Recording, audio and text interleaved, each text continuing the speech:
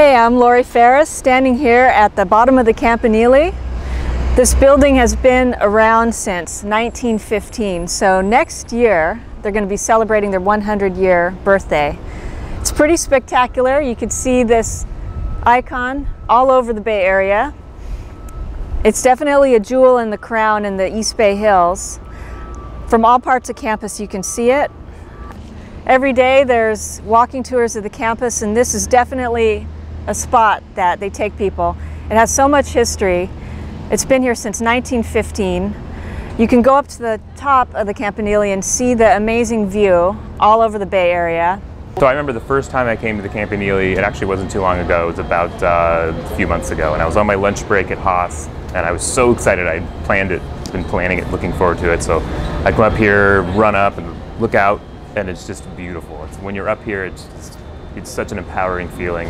Um, the Campanile, the Campanile really is the you know a beacon of the East Bay. When you're you know other areas of the East Bay, you can look over and point out to your friends, "That's where I work." You know, so it's just a it's a it's great to it's just a great thing to have. So on campus.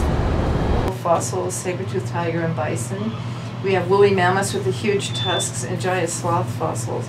Uh, never dinosaurs, never Native American bones, like students are fond of saying. Um, Carillonist, who plays the bells.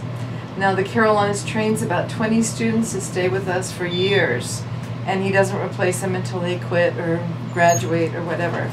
So um, if you're his student, you go to the sixth level, you do your lesson there, that's at the Carillon office, and then you go back down to the first level where we have a library of Carillon music and they also have two more keyboards there so they can practice and that. So, so it's like you know bells and bones pretty much throughout the tower. So, okay, that's great. One of the things I really want to do is come up here to see the Carillon player uh, play, which I think is. Uh, I think it's three times a day, or at least two times a day. Um, I know that they do it from noon to 12:10, and uh, you can actually come up here and watch them and the bells are right above you, and I'm sure it's really loud. Um, but it sounds like it'd be a pretty intense experience. Hello there.